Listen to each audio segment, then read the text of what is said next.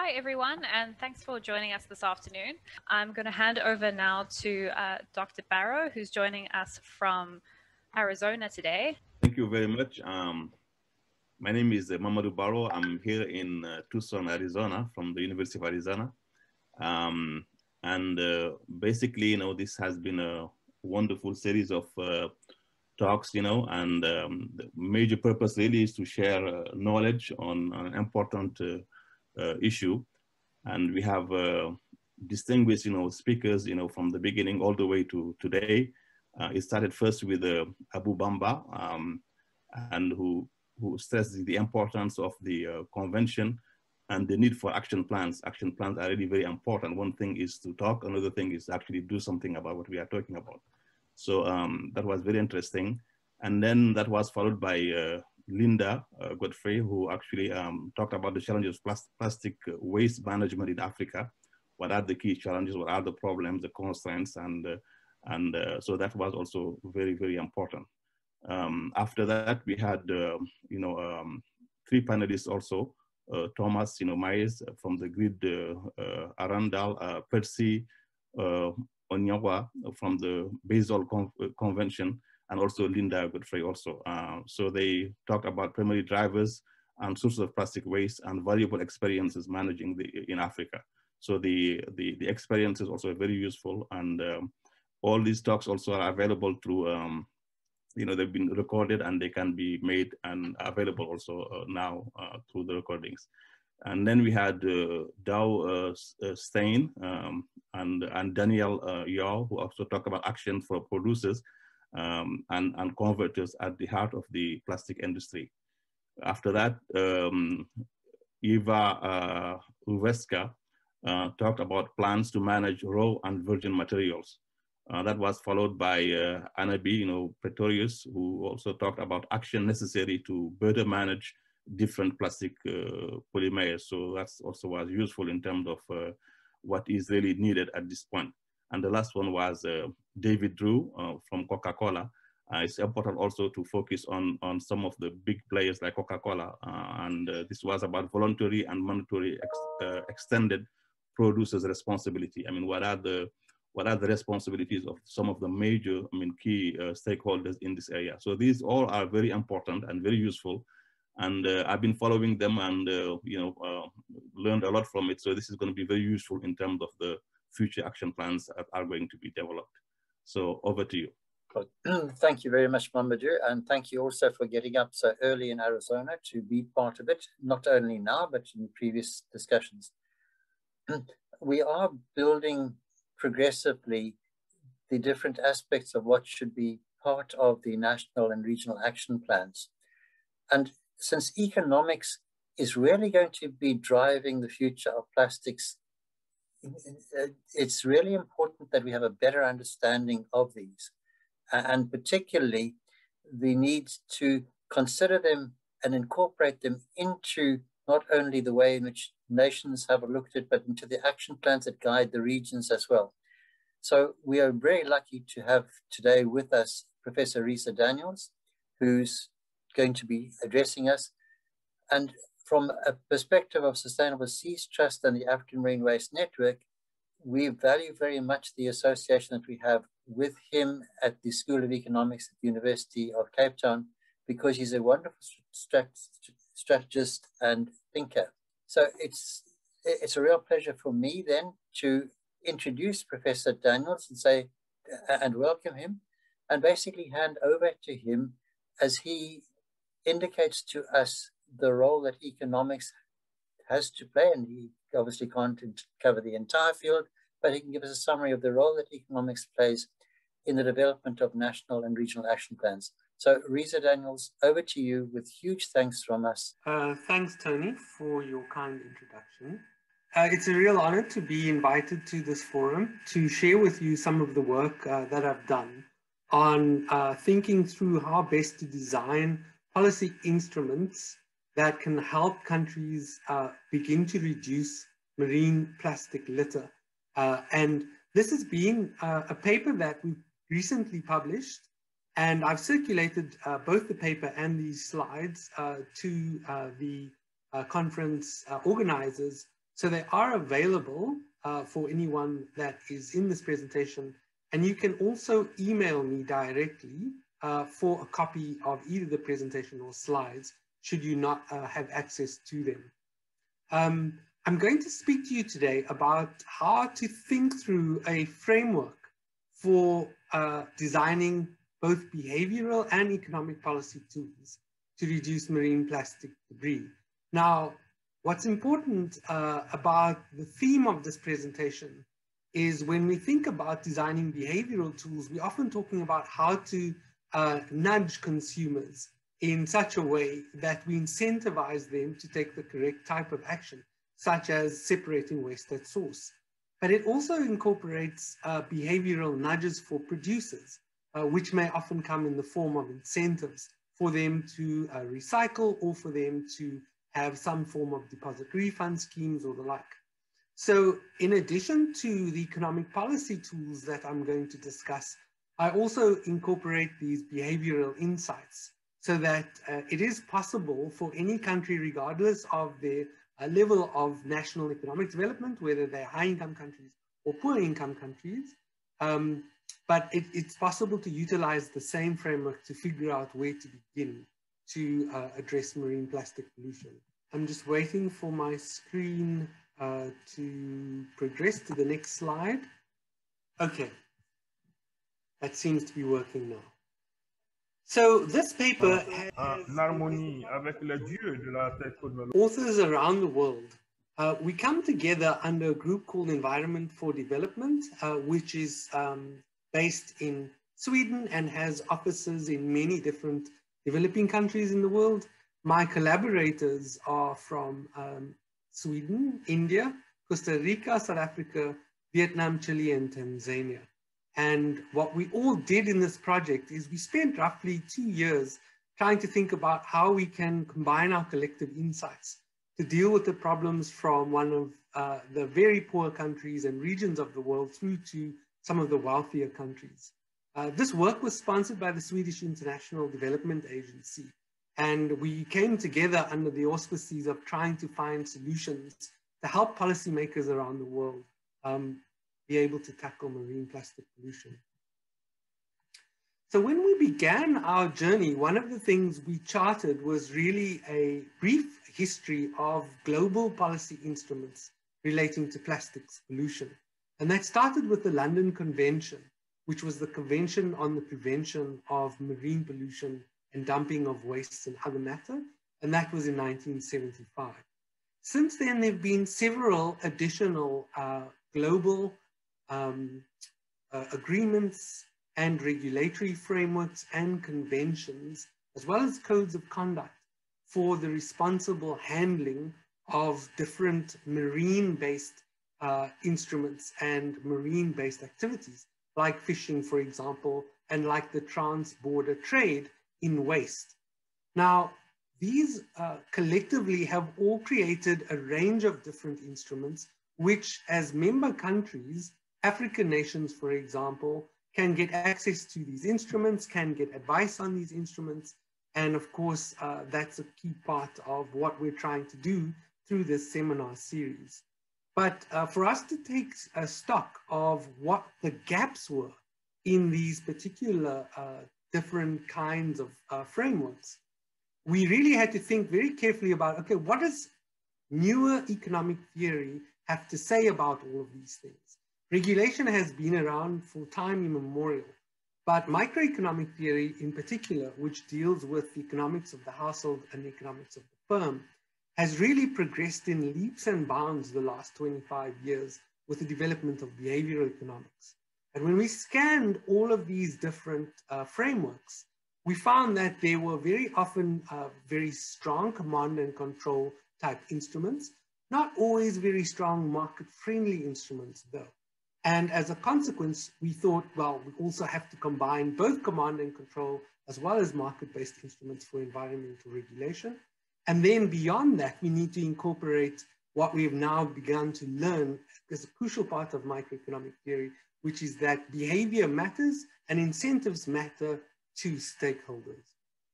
So that was our assessment of where we could make a contribution as a range of academics from around the world, all uh, specializing in different aspects of microeconomics, but uh, also aware of the fact that um, this advancement in behavioral theory, uh, which interacts a lot with social psychology and sociology and anthropology, especially in uh, poorer nations, where these uh, insights perhaps existed. So we distinguish between four broad types of economic policy instruments. The first was price-based instruments. The second was rights, rights-based instruments. The third, regulation. And the fourth, the behavioral instruments.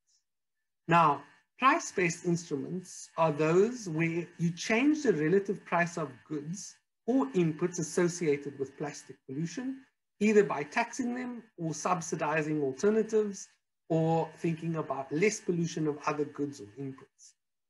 On the other hand, rights-based instruments in which an instrument like a total allowable quantity of pollution is determined and trade in pollution rights is allowed to minimize the cost of pollution reductions.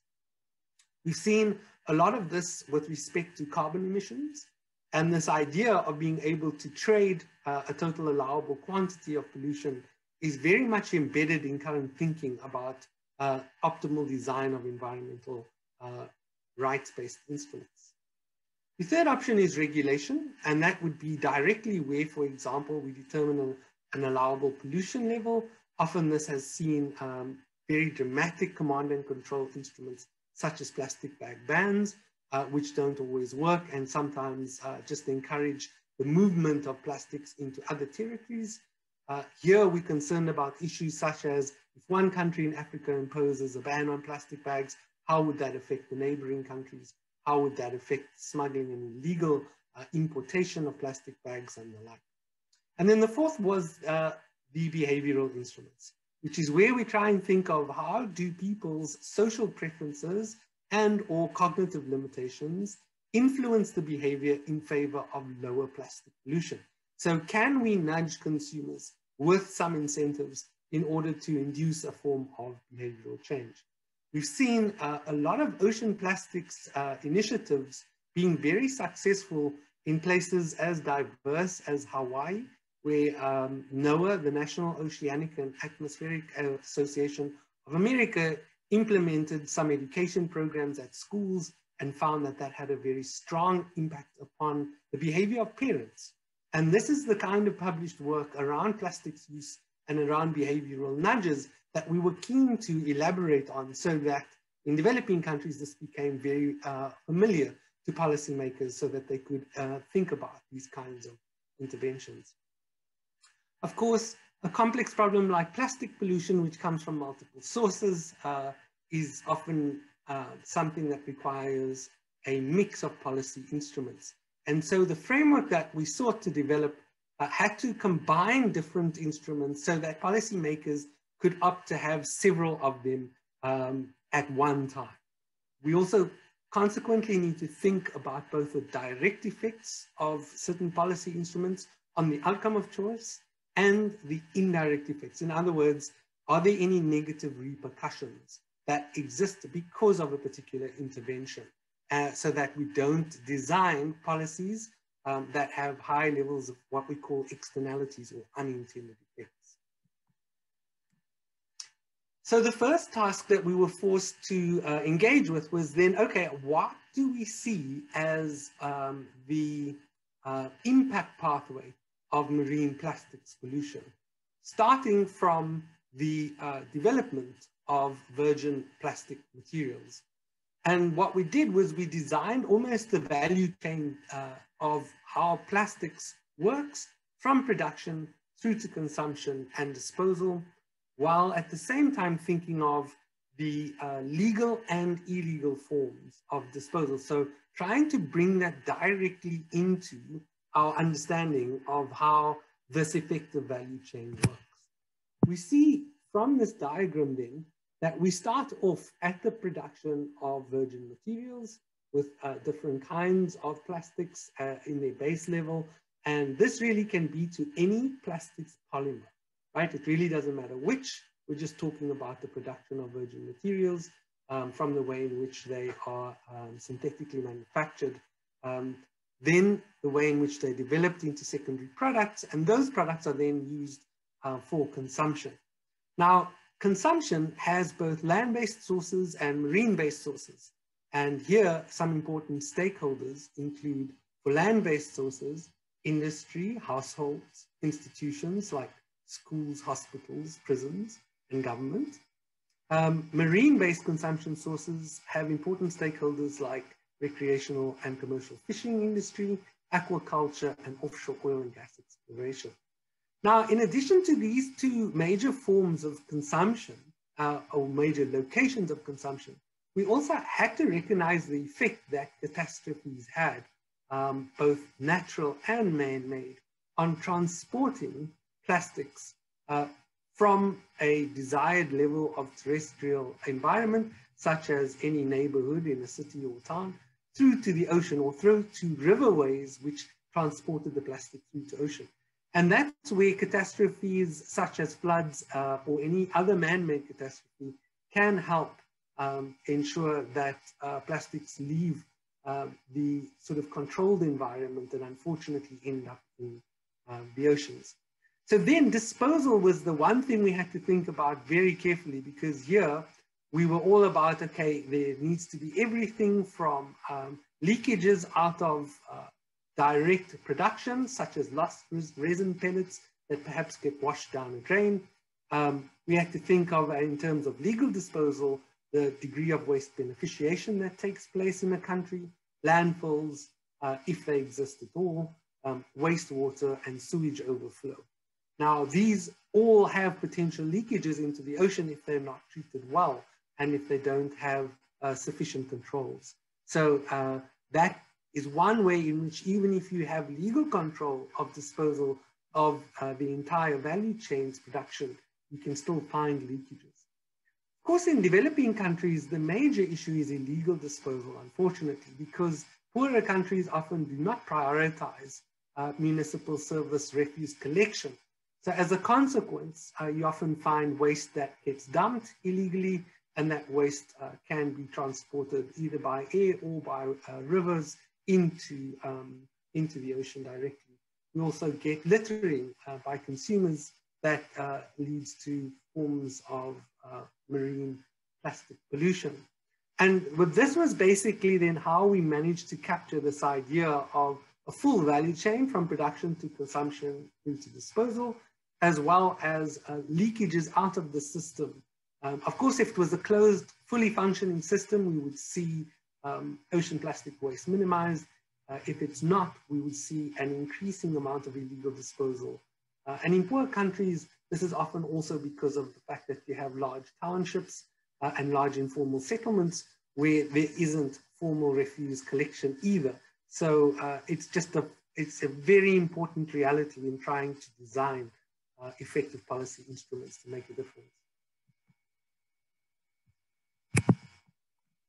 Okay, so then when we thought about how do we begin to think about which policy goals should be developed in order to ensure that we maximize the reduction of marine plastic pollution based on the impact pathway of plastics. Now, this is going to always, it's going to differ by country. But the basic principle is you think about exactly where your plastics are being produced. If you have a domestic plastic production capability, then you have to think about your entire value chain. So pollution from pellets in the plastic industry is one thing that you have to monitor and try and get the plastics producers themselves to minimize, right? So here we would see that the policy goal would be a reduction in the number of micropellets lost to transport and production and technological improvements in the production process to better match expected use with end-of-life uses and reuses and decomposition. But note that these, this pollution from pellets in the plastic industry doesn't always have regulation associated with it. It may do in certain countries, uh, especially European countries, but often in developing countries that isn't there. So this often also comes about because of the fact that you have many micro enterprises involved uh, in either the use and or production of micro of, of plastics and that these plastics then uh, are very difficult to, um, to regulate, these plastics producers, if you have a large uh, proportion of micro enterprises, that is. Um, then we have to think about, okay, what about uh, wealthier countries which have a higher consumption of plastics?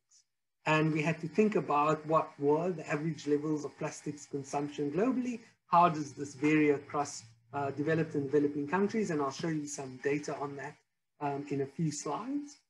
The policy goals here, if you're trying to reduce high consumption of plastics, is to foster sustainable consumption patterns, starting by reducing single-use plastics.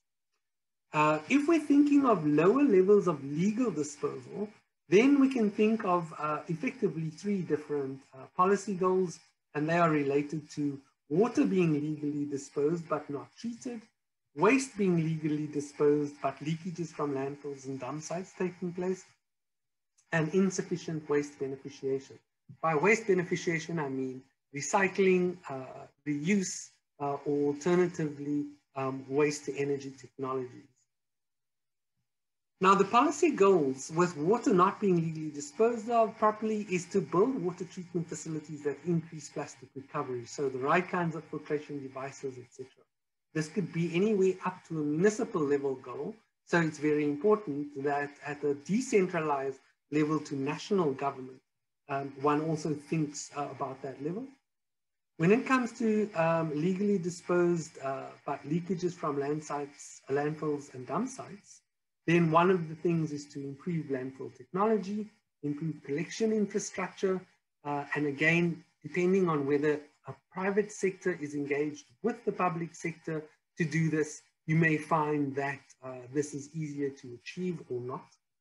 And then lastly, in terms of low levels of legal disposal, the policy goal when you have insufficient waste beneficiation is to increase demand uh, from the plastic industry and to promote recycling and waste beneficiation more broadly. Um, I've been involved in some work with the Asian Development Bank to think about new technologies that can be implemented in the Asia region to try and initially get rid of some of uh, the massive plastic waste uh, um, stockpiles in Asia. And here, things like waste to energy technologies, although far from ideal, uh, are being considered just because of the sheer volumes uh, of waste and plastic waste in particular that are there. So again, sometimes not the best solution, but it's the optimal, meaning least cost, most efficacious solution. And then most importantly, perhaps for many developing countries, is this uh, question of illegal disposal of plastics. And here we say we, we kind of define this by saying more than 20% of plastics is inadequately managed in uh, the economy or in the country. Here, the goal is to move towards legal disposal of plastics in some way, shape, or form. Now, this might again be through encouraging public-private partnerships with private waste providers. That often does require recyclers as well. So we get into a virtuous loop potentially of helping to build uh, the recycling value chain and the waste beneficiation value chain, while at the same time moving to in, reduce the amount of illegal disposal and provide forms of cheap but um, accessible waste collection services where separation at source is really the key thing that you want to move to once you've got an adequate um, waste collection system. So obviously a broad range of policy goals and each country will vary depending on the level of plastic production in their country all the way through to the level and uh, amount of plastic consumption that's there. The existing frameworks in terms of whether they collect waste or not, this is all going to also impact the starting point for setting policy goals to reduce marine plastic pollution. So then what we developed is this key idea called the problem-based selection tool, meaning if we know that, uh, for example, a country uh, needs to target the plastic industry, then we can think of price-based instruments such as a tax on environmental performance of the plastic products, or alternatively subsidies for research and innovation.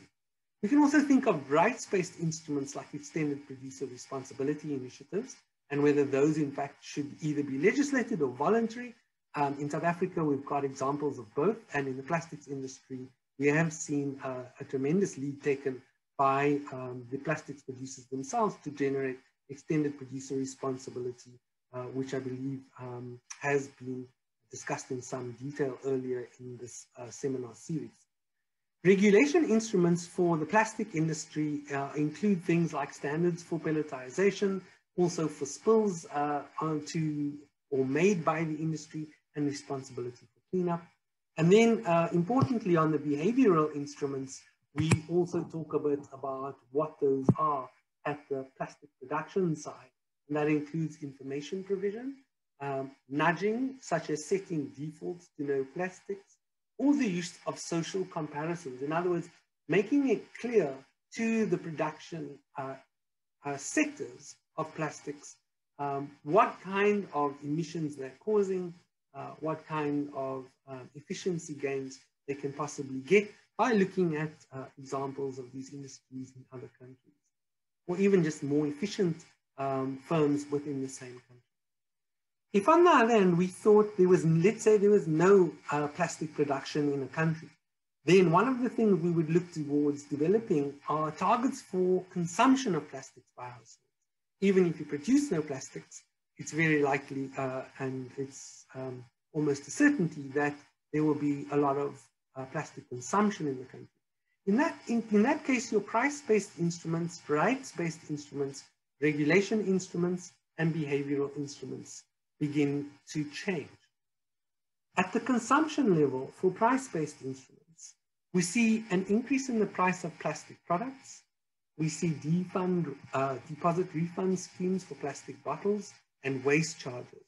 Right? So these are all things that we know of but it's important to be aware of how they target consumption in this instance rather than production.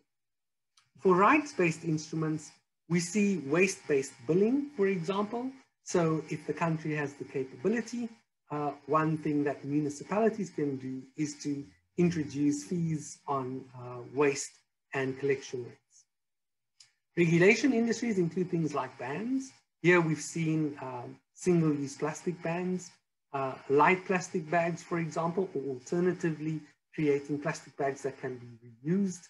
The life cycle of plastic bags has received a lot of attention and uh, very interesting findings there showing that if you use a plastic bag at least um, twice, then its life cycle impact can in fact be lower than a paper bag. So a lot of information here to help people understand uh, just how to use some of uh, plastics in a way that is um, more beneficial to the environment. Then lastly, uh, mandatory recycling. Um, where it's possible to regulate this, uh, it's often uh, something that can uh, be a very successful instrument. On the behavioral side, here we see that information provision is such a key initiative.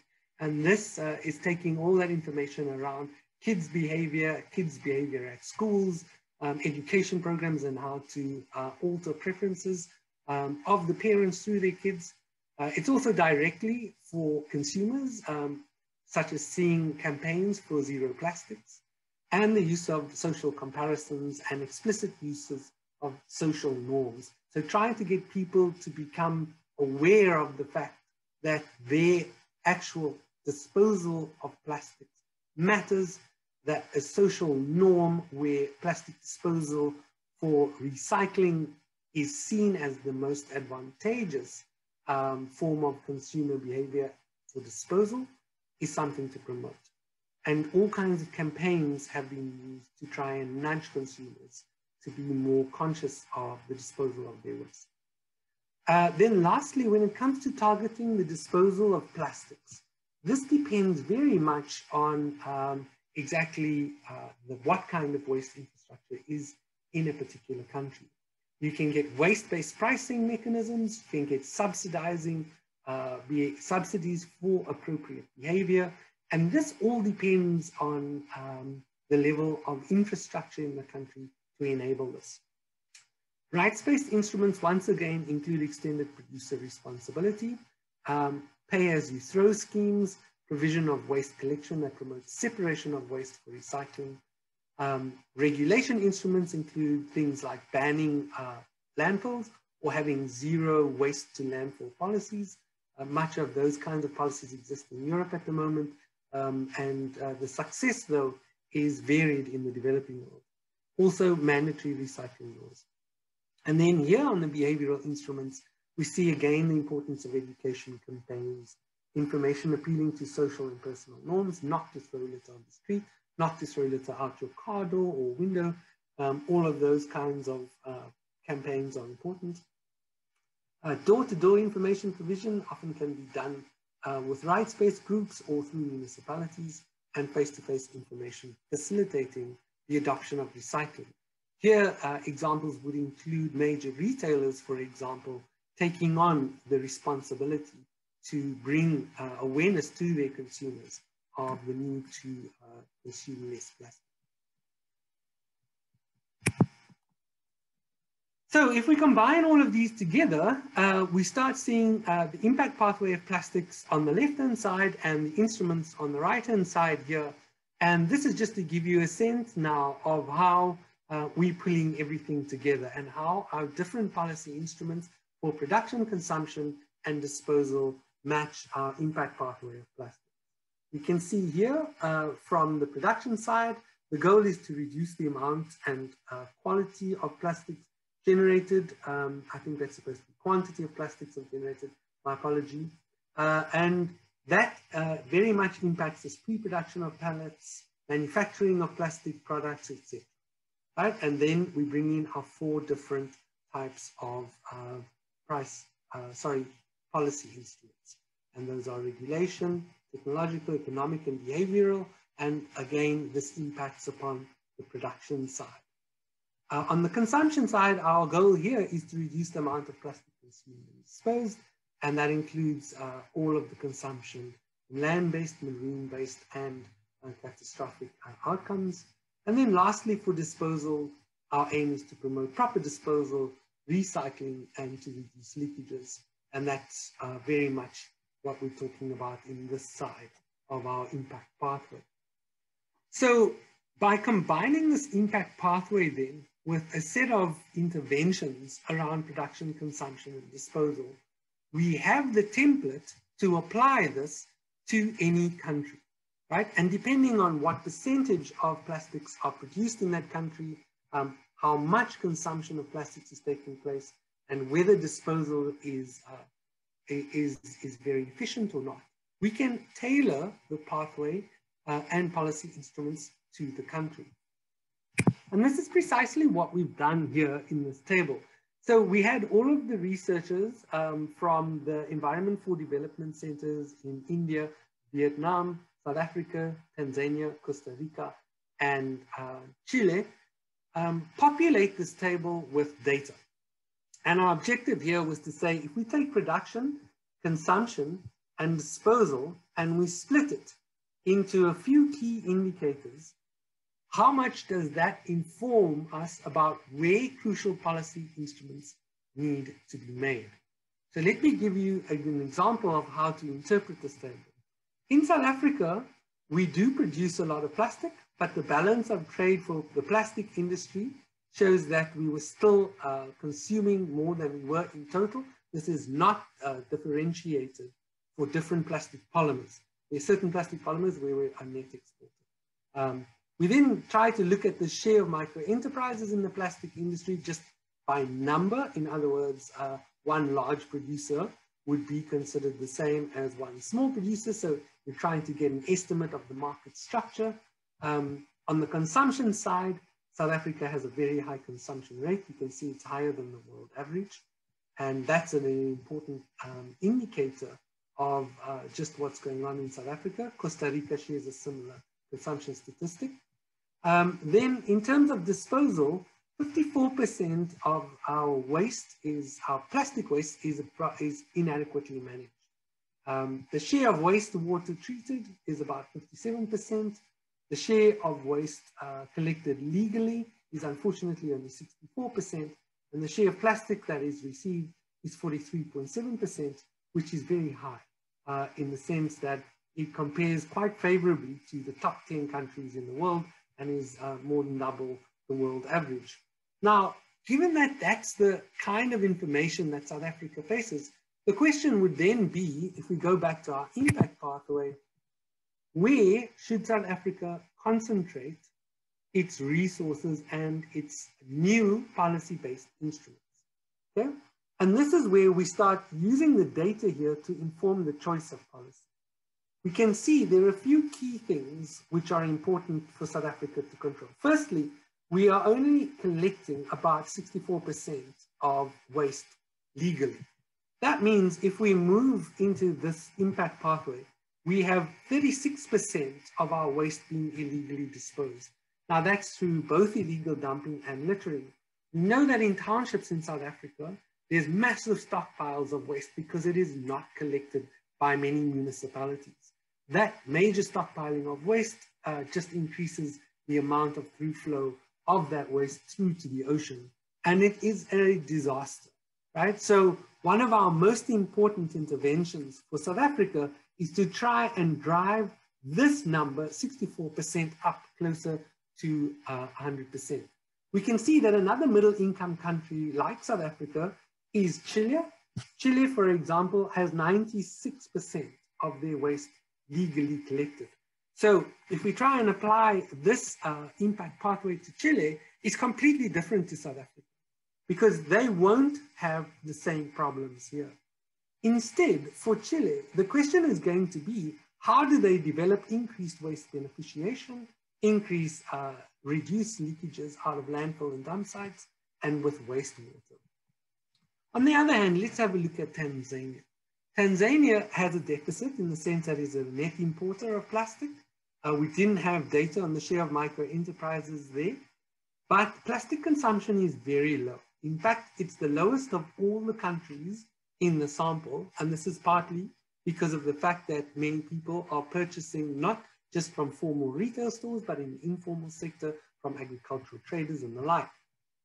The share of plastic that's inadequately managed is huge. And this is partly related to the fact that the amount of, um, of waste collected formally in Tanzania is only 15.6%. So if we go back to this impact pathway here, we know illegal disposal in Tanzania is going to be by far the majority of what's happening to waste collection efforts there.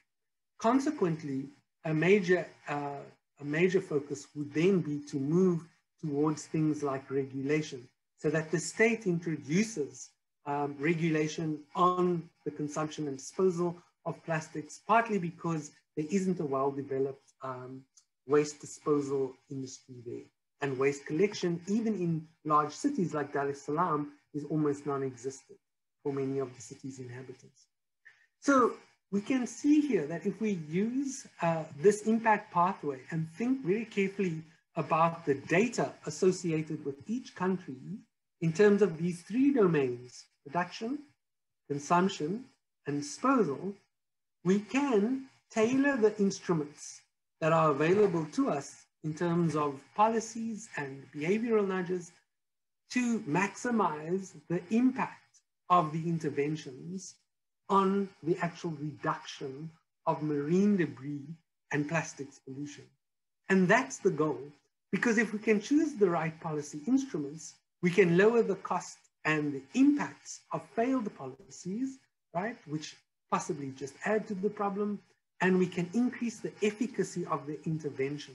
And that is the crucial part of what we'd like to land here with this framework for countries, is that you don't have to be a wealthy country. Things like behavioral nudges can be uh, developed with, with minimal cost uh, and can have far-reaching implications. You work through schools and education campaigns, for example, have one of the sort of highest levels of behavioral change in households, given the fact that the kids are interacting with their parents. You can do the same thing with government procurement as a completely different option. If all your government procurement starts putting rules about disposal and use of plastics, you can have far-reaching implications. So this instrument really is tailored towards any country. It's not the fact that you have to be wealthy. You can be any government and you can choose these particular instruments to suit your country and uh, your budgets. In conclusion then, uh, I'd just like to make a few additional points. And the first is that no one is denying that plastics pollution in the ocean is a complex problem. Uh, and it's going to require a mix of different policy instruments. It's going to require an engagement of stakeholders from your producers, your consumers, uh, and different uh, forms of waste beneficiation industries. If there are no waste beneficiation industries to start with, you might want to have the state taking a lead in building a few uh, waste treatment plants or alternatively waste to energy facilities that take into account uh, modern advances in technology to try and deal with uh, some of the extant waste that is existing in people's environments. Of course, waste is something that reduces human health. So by investing in these kinds of efforts, you also potentially improve uh, human health for the communities that are surrounded by the, by the waste. The framework is flexible enough to be used for any country, right? All regions within countries, whether they are decentralized regions like municipalities and district councils, or uh, at a higher level of aggregation like provinces. Now, the importance here is that, you know, many countries in Africa uh, are also federal states. Uh, and so as a consequence, uh, their states or provinces have a lot of the uh, authority over waste and waste and how waste disposal is treated. Under those circumstances, you just want to tailor the framework in order to adapt it to the regulatory structures of a given um, political governance regime. Now, very important here is things like behavioral nudges, they can apply uh, at any scale. Uh, they often require um, things that are very simple to intervene with and uh, they can shape um, behavior in a very powerful way. Um, Something else to think about here is that if done correctly, public-private partnerships with respect to waste disposal, treatment, recycling, and waste beneficiation can be tremendously successful. Uh, one can use the fact that waste exists to uh, spark an entire new form of industrialization based on waste cleanup. Because the technologies are so diverse and sometimes quite advanced in terms of their manufacturing capabilities, building waste treatment plants, building waste beneficiation plants um, as proofs of concept in combination with the private sector can often help to uh, develop skills in the sector and get locals to become uh, aware of technologies that are worth investing in to help this. So it can be a tremendous catalyst into actual micro enterprise development and larger firms and, and larger technologies used to treat waste. Remember, uh, in many poor countries, there's always a cry that we don't have data. So in this instance, do what has to be done. Start small, find out what works, scale up, right? This is the principle we want to use here. There's no reason not to commence interventions immediately, regardless of your budget constraints. Then lastly, some limitations of this work and directions for future research. Um, most of the literature we found uh, when we tried to compile this, the reason that this project took so long, we were busy with it from 2018 all the way through to 2020, was because a lot of the literature focuses on understanding the behavior of individuals or households, while little attention is devoted to understanding the behavior of a broader group of consumers uh, particularly institutional consumers like hospitals, schools, universities, and government. Here, one of the things we wanted to bring to the attention of institutional consumers is to think about the fact that your procurement behavior matters. Uh, schools are often controlled at a sort of more aggregate level than just one school. Yes, you have private schools, but you have lots of government schools. And if there are rules on procurement, rules on littering, rules on how to uh, incentivize um, more sustainable um, consumption and disposal habits, then those can be easily uh, affected with behavioral nudges such as education campaigns. The other thing we found was that although there is vast evidence regarding the importance of personal norms for individual behavior, uh, most behavioral interventions rely on one-shot information provision, while long-run interventions in the form of environmental education is more scarce. Now, this is an important principle, uh, again, around the idea of inculcating an ethic of environmental stewardship for individuals, even if they live in poor communities. Uh, in economics, there's a principle called the discount rate, which really has to do with the fact of how people plan for the future. We know that poor people have very high discount rates because they often can't think about uh, the future's environment if they can't put food on the table today. We do know this, but that is not an excuse for not introducing interventions specifically targeted at poor communities, where often we have the most disastrous consequences of waste, and therefore need to make the strongest interventions. Again, here, uh, examples are around, um, and in South Africa, we're also working with Polyco, one of the EPROs in the plastics industry, to try and trial different interventions in these poor communities.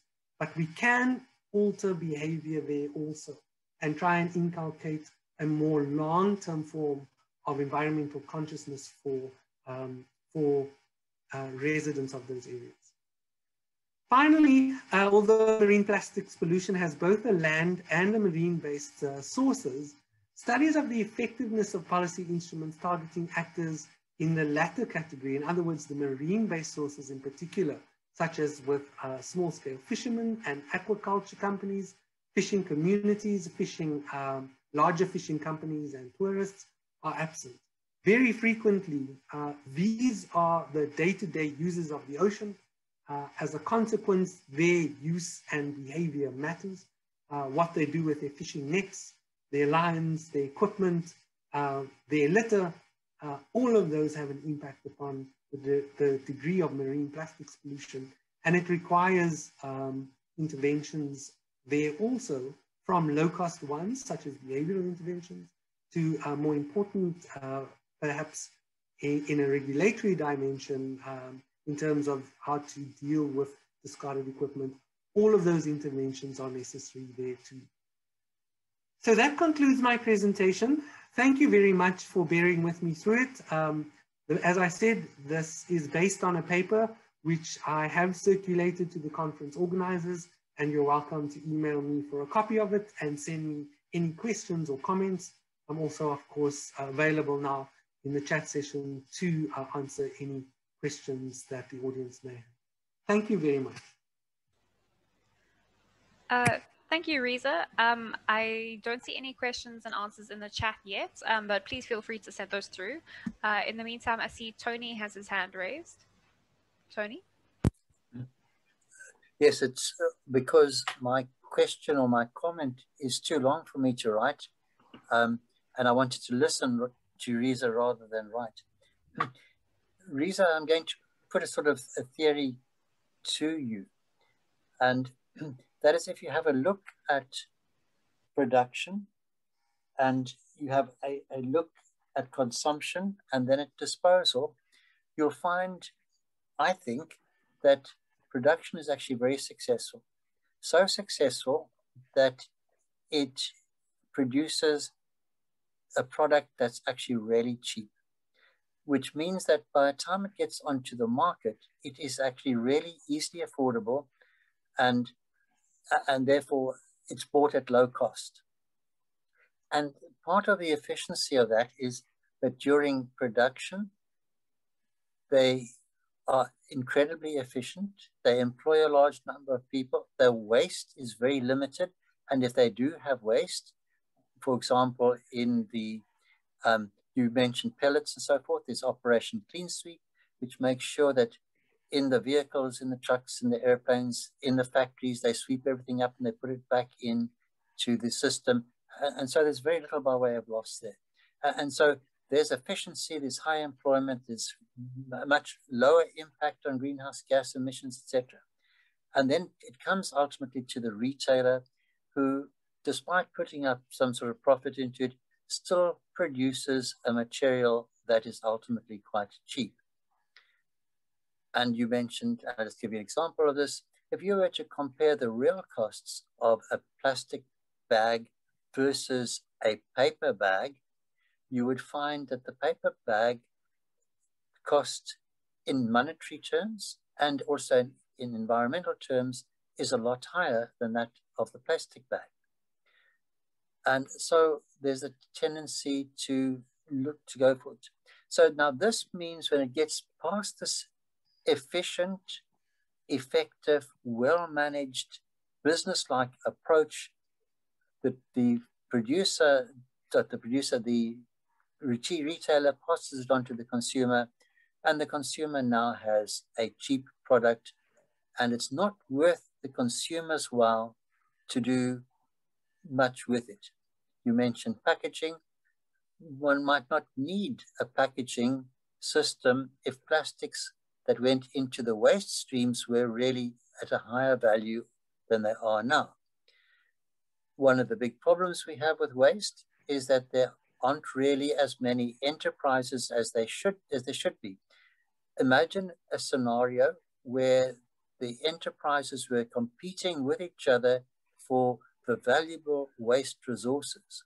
The incentives then to collect would be tremendous and there would be virtually no cost to waste management. So once it becomes waste, that efficiency is lost, the costs of action are high, the costs of return are low.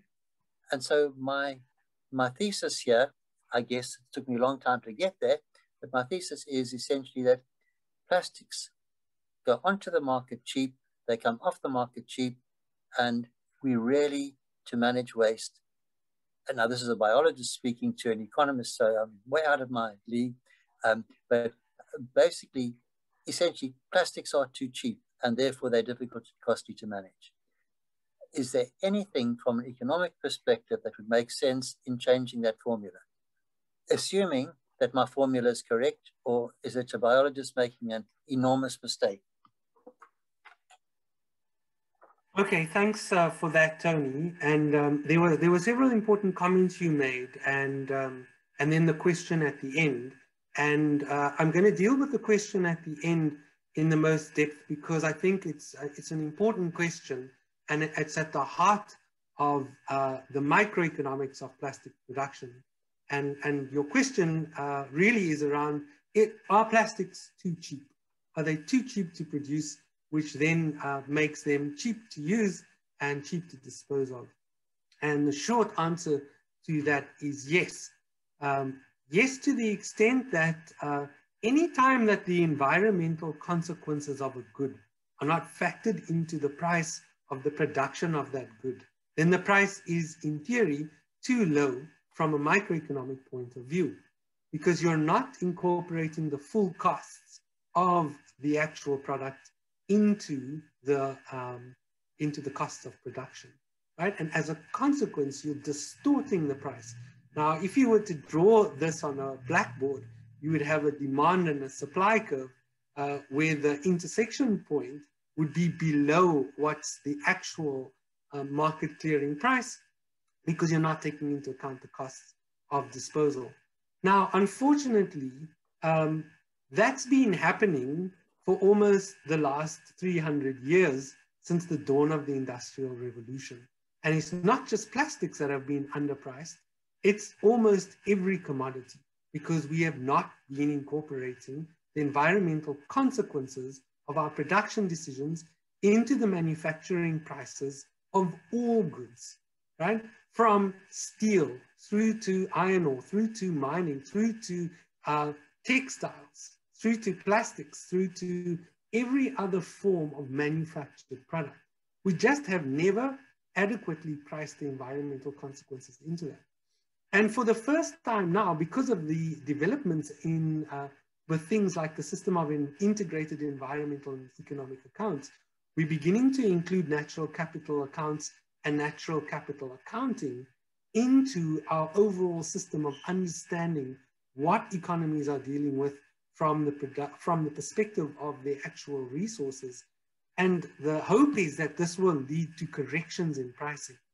For now, we have these haphazard and piecemeal corrections to pricing, such as uh, the carbon tax, for example, which is designed as a generic policy instrument to try and correct for the fact that all industries have been systematically underpricing uh, the manufacturing of their goods. Now, we're still very much in the infancy of understanding how carbon pricing works for a, a variety of different industries. but it's a potentially far-reaching initiative um, when it comes to inflating the price in order to reflect the actual long-term environmental consequences of production and consumption. So the short answer to your question is yes, plastics have been underpriced. So have almost all other commodities. Uh, that is a failure of microeconomic pricing to not take into account the environmental consequences of the goods that we produce. Uh, and we are in a massive scramble as a global community to try and find solutions for that. Um, so there's no quick question uh, to answer this one other than to talk you through the kinds of initiatives like carbon taxes and other forms of uh, um, initiatives that have been designed to make a start at correcting this. Thanks for the question. Uh, may, may I follow up then? Um, it seems as though it's exceedingly difficult to correct because as soon as you start to um, manipulate the end, the price of the end product in this way, it might then render many of the industries and factories and so forth uneconomical. And if they're not viable, then one has employment losses, one lo loses these.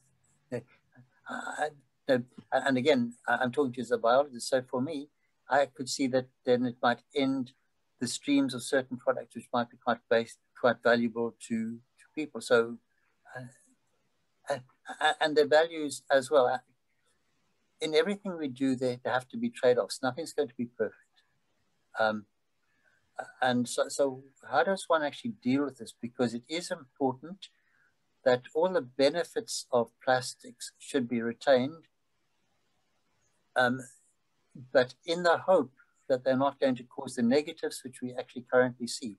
Uh, and that those negatives, you know, those negatives are enormous, and that's what people are focusing on. They're not focusing on the positives on the sort of production, manufacturing, or, conversion side, and everything that's happening there. So we're looking at we, we're looking at penalizing the efficient part because of the inefficiencies in, in the waste management. So, so how does one do this without penalizing what is now construed by many people as being the wrong part? Basically, they say, oh, that the, the problem lies with the manufacturers and the producers, etc. Well, maybe to some extent it does, but maybe it's it's past that. Maybe that's not the problem. Okay, so the way a carbon tax would work, um, in theory, if you were to design it correctly is that it would take into account the life cycle costs of production of each commodity and uh, the carbon footprint imposed by that commodity's production. And then it would price uh, according to mitigation measures, measures that were known to be able to reduce that carbon impact. Um, so if your carbon tax was working completely efficiently, there really wouldn't be a need for other interventions. Of course, uh, that's a very disputed uh, science because trying to understand the life cycle impacts of a production process are data intensive and complex and frequently the kinds of life cycle tables that you need um, aren't always easily accessible to policymakers in particular, but uh, it can and has been done uh, in South Africa and elsewhere in the world as well. Um, the other thing is you can introduce different types of interventions at different parts of the plastics value chain.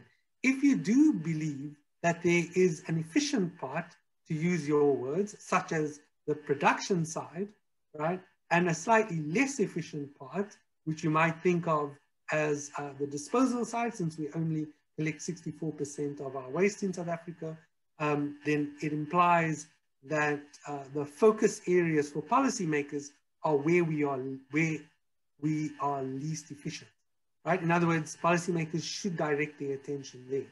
Now, it's incumbent upon um, the policy community, but also the research community, to, to guide policymakers there with respect to uh, the kinds of interventions that they can make, so that anything that is working uh, less than optimally or less efficiently um, is in fact uh, dealt with.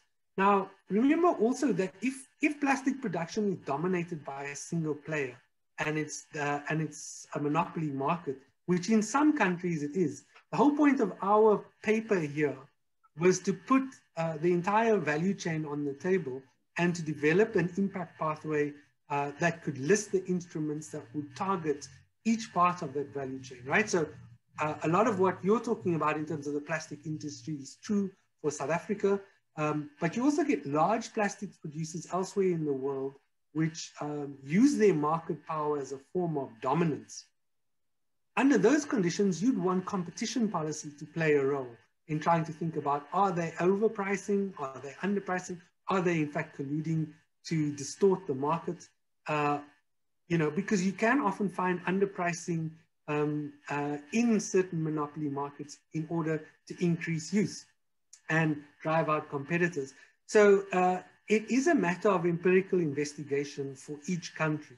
Uh, that's, I guess, the point I'm trying to make. The point of this paper was that once you understand a particular country's environment in terms of production, consumption, and disposal, you can tailor the instruments um, that we discussed to the advantage of the country so that if you were to develop an action plan, that action plan would then be individually specific to the country's needs, right? So South Africa would have a particular uh, action plan that would look very different to Tanzania, given the data that I showed you about Tanzania.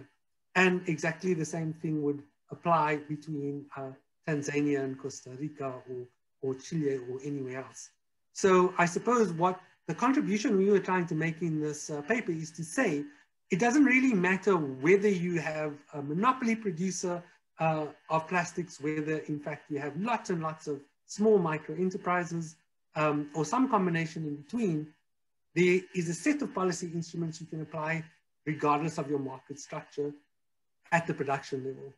Similarly, a set of policy instruments you can apply regardless of whether your consumption of plastic is high, like South Africa, or low, like Tanzania. Um, but you can choose from those policy instruments so that it is relevant to your country's circumstances.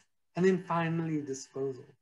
One last thing I just want to say about disposal is this idea that um, waste is uh, a sort of missing market or waste is um, some form of underutilized resource. Waste is in fact a commodity, right? It, it's a commodity that can be utilized in an entirely new production process with new technologies that can be, a, uh, you know, uh, it can convert waste to energy. As we know, we can also um, uh, look at many different uses of that waste. So what that represents to countries is an opportunity. Uh, it's an opportunity to develop a waste beneficiation set of industries with public and private sector participation that can spur an entirely new form of sustainable manufacturing and uh, advanced recycling capabilities. And this is the reason why poor countries in African nations need to get on board because there are so many opportunities to use waste as a form of industrial development and building capabilities in local manufacturing that I think is just, it's just not sufficiently recognized as um, a pathway out of poverty and a pathway towards um, industrialization in a green form of uh, industrialization or green growth platform. Uh, I teach a lot of this kind of idea in my economic growth course in the master's program at the University of Cape Town, partly because what we're trying to get people to understand about green growth is the fact that it's not just the development of advanced technologies in solar, wind, and renewables, but it's actually recognizing where we've underpriced before, where stockpiles of waste, such as landfills, represent sort of free commodities almost, because they've been disposed of, free commodities to use as inputs uh, into a manufacturing process or a potential manufacturing company. So these are the ideas we also want to get across, which is that waste has value and that with the right form of incentives and policies, you can catalyze that value. Or alternatively, if you get those policies wrong or you do nothing, you lose all that value, right? The waste is a resource. It is stockpiled It is highly valuable if you know how to leverage it and how to unlock that value. Often it requires the use of the private sector with the public sector to catalyze that sector and initiate it so that it can start delivering the long-term benefits that we know it can. But that also requires a change uh, in viewpoint of policymakers to recognize its uh, potential long-term value. And there'll always be a supply of waste. That's the other thing, right?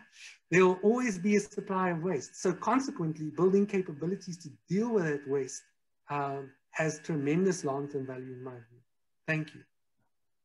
Yeah. Sorry, it's, it's still me. um,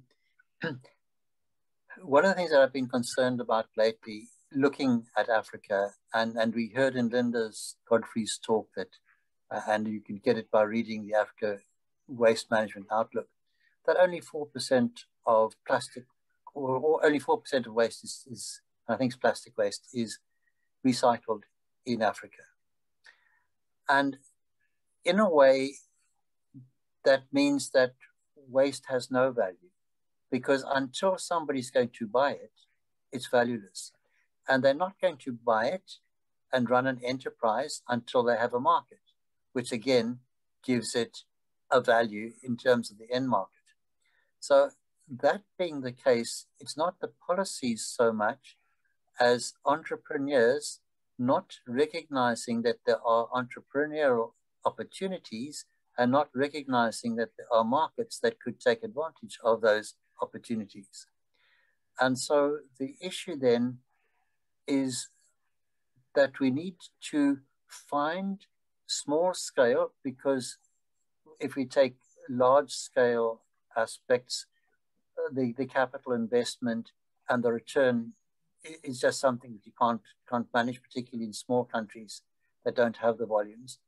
So we need to find small scale entrepreneurial opportunities that can be duplicated and spread throughout Africa and for which there would be markets and those end markets would need to be the sorts of things that are valuable to the people of Africa.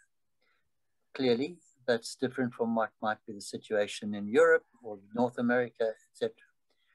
So that to me, the big issue is um, developing those entrepreneurial opportunities, but also to fulfill market gaps, because otherwise, while plastics has the potential to have value, it doesn't have value until those actually exist.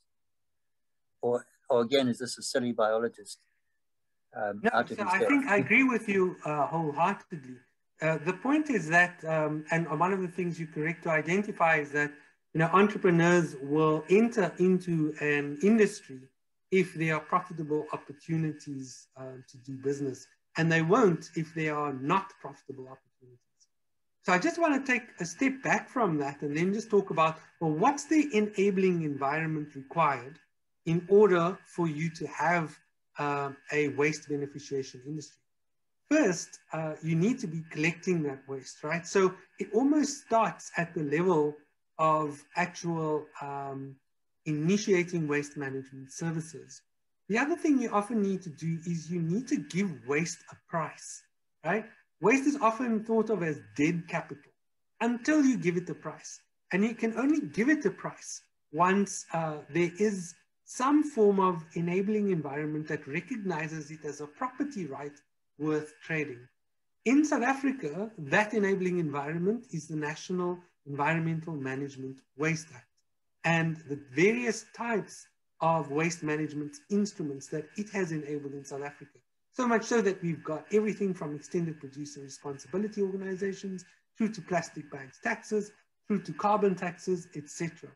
But if you didn't have that enabling legislative environment, you wouldn't be allocating the property right to waste so that we knew how, who to trade it and how to trade it and you wouldn't, uh, and you would artificially then suppress the pricing of waste.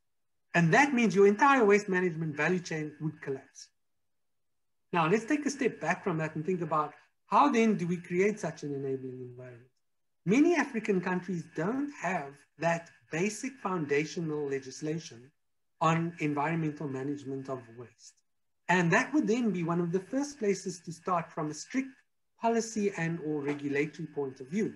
Create national legislation to enable the trade of waste and the involvement of the private sector.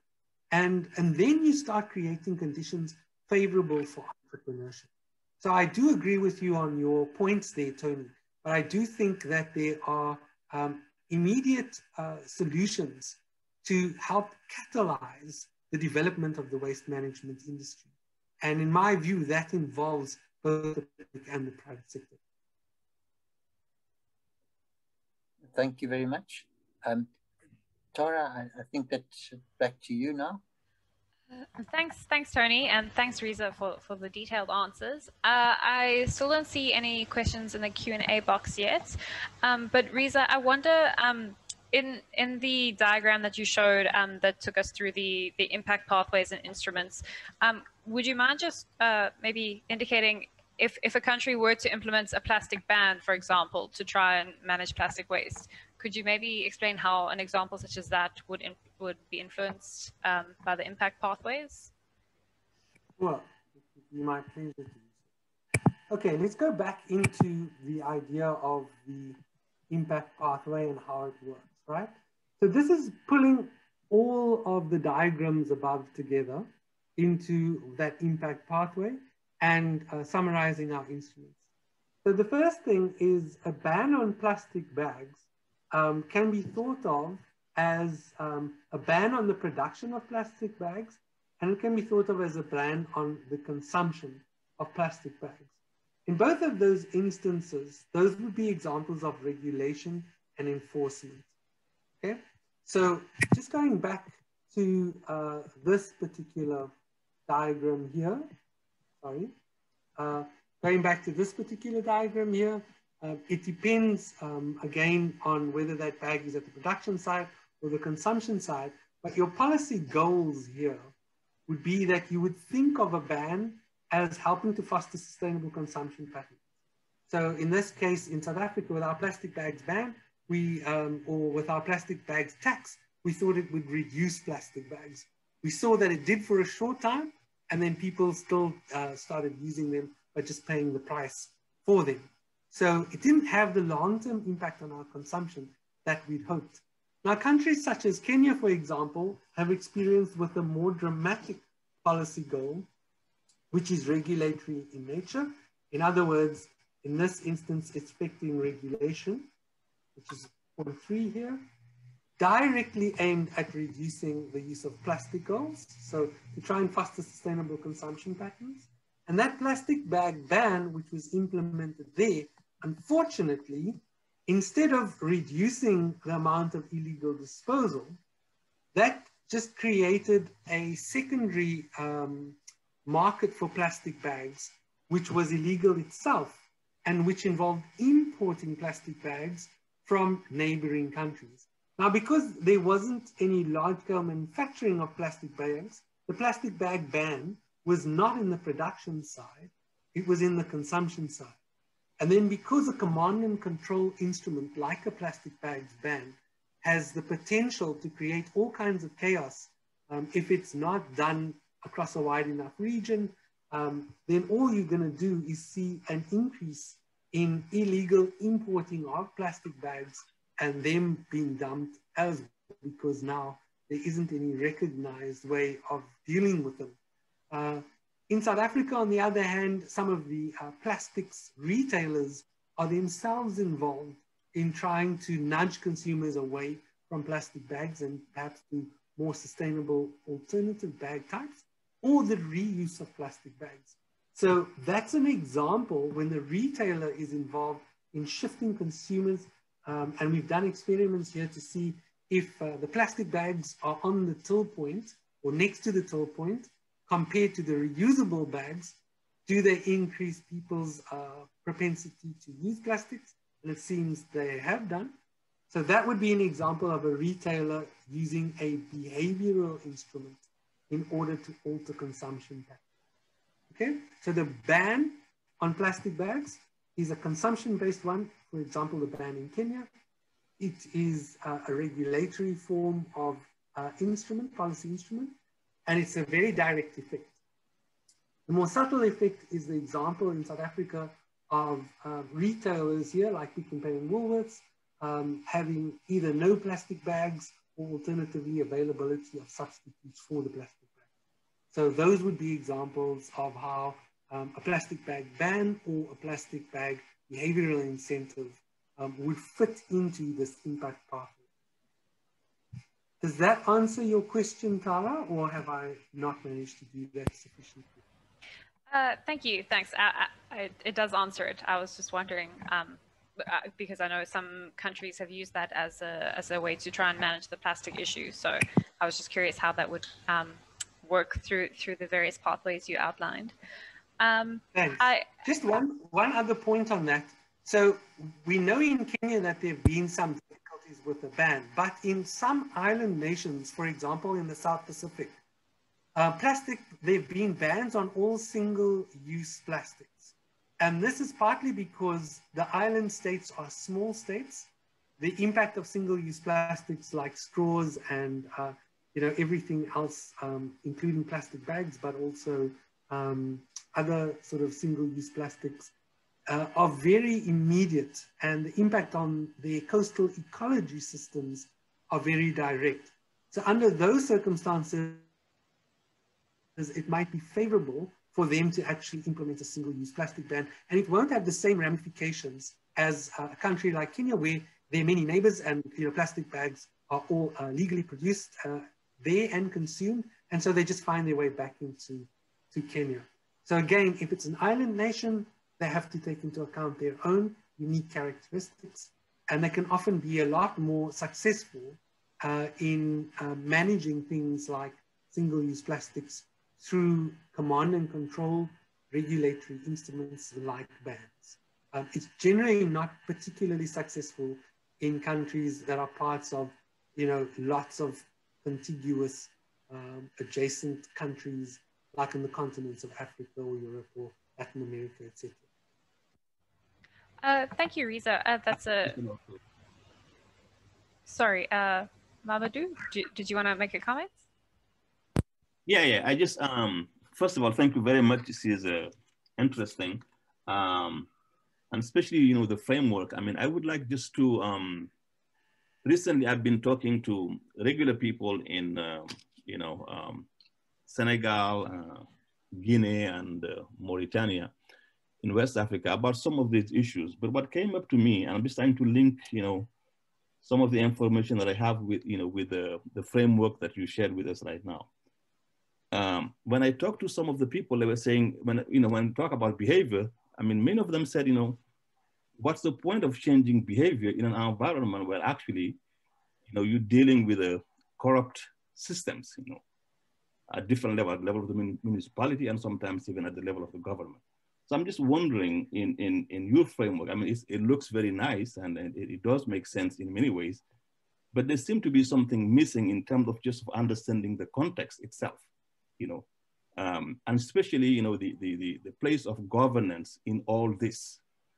Uh, because, you know, um, and if, you, if we look at uh, many of these African countries, they seem to have serious issues with governance. And in a, in a, in a context of bad governance, how can you, you know, especially when we are thinking about, you know, action plans, you know, now, you know, and, and, and strategies, you know, to make, I mean, the plans actually work. I just want to get you know some kind of comments um, from you about that. Um, and uh, yes, I do see you know um, management of waste as a you know as a pathway out of poverty.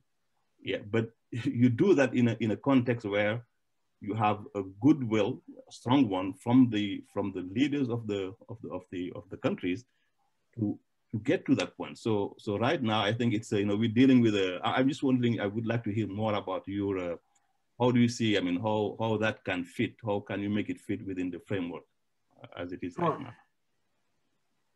Sure, and, and thank you very much uh, for that question. Um, I think it's a key one um, because it's not just African countries that um, have this problem, right? It's uh, countries all over the world and developing countries all over the world. Um, the advantage of uh, the network that I was involved uh, with that wrote this paper is that there are people from, uh, they were from India, China, Latin America as well. Um, and, and everybody is aware of the fact that corruption exists in all of those countries at different levels.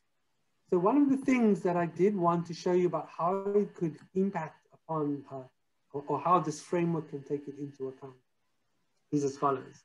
So let's say here that in order to have a capable, uh, if you had a capable state, things like rights-based instruments and regulation, for example, those are things that uh, might be difficult to implement well because there might be some form of, of capture of the actual instrument. So if you, if you raise a tax, a tax uh, might be collected in some way which is not um, beneficial to the fiscus. It might uh, have corrupt politicians trying to take a share of it or something of that nature.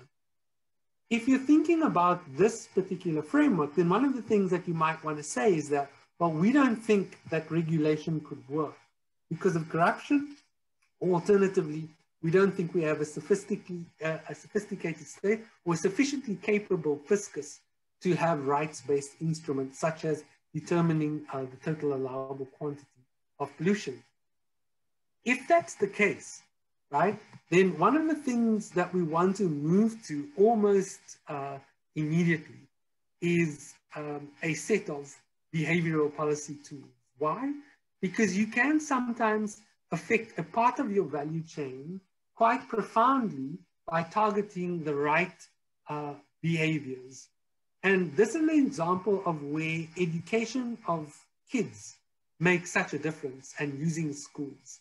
Uh, if you just got uh, into the schooling system, a set of initiatives around uh, how to treat plastics or how to treat different forms of household waste, uh, for example. There have been experiments with keeping um, waste diaries, getting kids to work with their parents to keep waste diaries, right? And this follows a, a form of survey methodology where uh, traditionally people have used expenditure diaries to keep track of household expenses.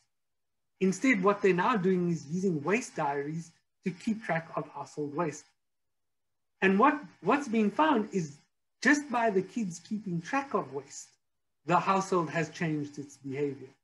That's one way in which a behavioral instrument can be extremely efficacious.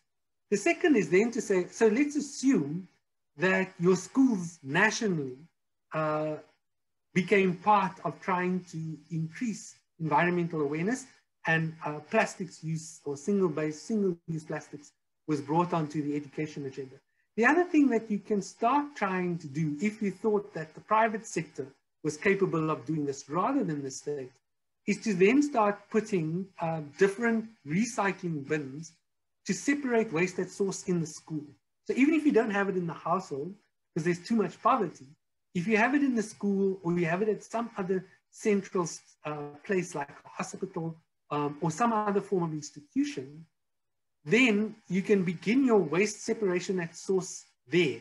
Now, the advantage here is that you tie the behavior of the kids, let's say it's at school, you tie the behavior of the kids to not only the household and to making them think about how much waste they're using, but also then to bring that waste to the school and dispose of it in bins which then the private sector can be kick-started. If you didn't want the state involved and it was legal for the private sector to do this, you could then start off an entire value chain based on just getting the private sector to interact with schools to collect and to start your recycling um, initiatives. Now, of course, it's not that simple, but this is an example of how once you think through uh, this entire impact pathway of plastics, you also need to think through which of these instruments are going to have the highest levels of efficacy in the country of choice. And if that country is known to have an incapable state or high levels of corruption, even if it's a, one municipality that's corrupt, but the other municipalities are efficient, then the one corrupt municipality, even within the same country, has the potential to derail regulation, right? We all know that that exists too. So then you have to think very carefully about then which are your lower costs, high efficacy interventions.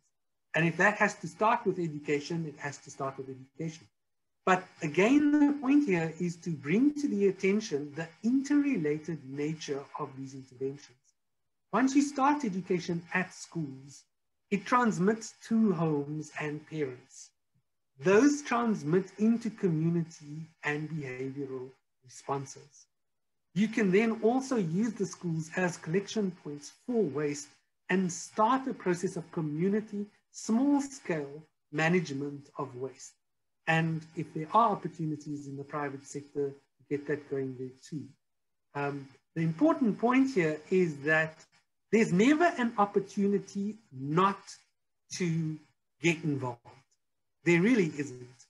And we need to stop uh, the kind of thinking that says it's okay not to deal with waste more generally because we're too poor, or not to prioritize the environment more generally because we are too poor, and in Africa, we all know this is as some of the most least developed countries in the world. We know poverty is indeed a problem. But this is an example, and in my view, waste beneficiation becomes an example um, to have this pathway out. Start small though, you know, and start humbly and build from there, build local capacity. Uh, there's no substitute for local people getting involved uh, in this effort. And that should be the basis, I think, of any action plan um, for any African country or indeed uh, any other country. I hope that answers the question. And I, you know, I'm, I'm not trying to actually um, pass this away as a trivial question. I think it's fundamental. Um, and at the same time, I'm trying to say that, that, you know, because of how we understand behavior to work, in economics, these behavioral nudges have really kind of uh, revolutionized our thinking of how to intervene in order to generate the outcomes that we desire. Um, if we desire a more pro-environmental set of behaviors among our people, we do have to have contextually sensitive interventions. Um, and that means taking into account local circumstances. Um, so in that, in that respect, you know, education then is one of these, these really high impact uh, interventions that have long lasting behavioral effects, even if you have uh, corrupt or captured governments or municipalities, uh, which prevent your broader waste beneficiation industries from, from blossoming to the extent that they could. Thank you. Thank you. Uh, thank you, Reza. Um, thanks so much for, for the detailed uh, responses to, to all these questions. Um, I think it's very interesting to hear, particularly um, uh, the the ones that you mentioned um, as well about uh, island states and how you know how different circumstances will be needed for different countries. Um, I don't see any uh, questions in the Q&A box, but I think if anyone has any questions, please feel free to, to email us or to email Reza, and, and we'll happily pass those along if they come through to the webinars at sstafrica.org.za. Um, for now, I think we can close here today. Um, but thank you so much, Reza, for for taking the time to present for us today and to to give such a thorough understand uh, uh, to give such a thorough explanation of um, of the economics uh, involved in this.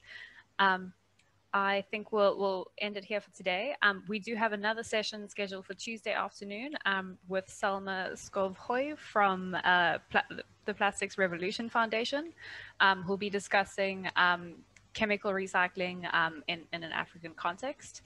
Um, uh, thank you again, uh, Reza and Dr. Baro for assisting us today. Um, Tony? You. You're welcome. Thanks. Uh, yes, uh, um, I just like to endorse what you say. Reza, really great.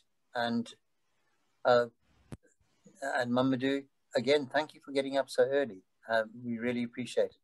So Reza, I'm looking forward to working with you more as we move forward, and hopefully Mamadou and all the rest on this team, uh, on this. Let's work towards developing really good national and regional action plans, taking into consideration the variation between countries and the tasks that we will face in dealing with the variety and the diversity. Okay, so from my, my point of view then, thank you very much indeed, and thank you, Tara, for, for, for managing so well again. Thanks, everyone. Thank you all. Thanks, everyone. Enjoy the rest of your afternoon all. And Or- or- or also your to the translators, thank you very much indeed. Much appreciated.